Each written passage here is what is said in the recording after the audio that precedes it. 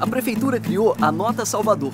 Você pede a nota com seu CPF toda vez que utilizar serviços e recebe parte do dinheiro de volta na sua conta. Ou pode abater do IPTU e ainda concorre a vários prêmios. Você pode pedir na oficina, na escola, na lavanderia e aqui no salão. Você pede a nota, seu dinheiro volta. E aí, vai fazer o quê? Barba, cabelo e a nota. Prefeitura de Salvador, primeira capital do Brasil.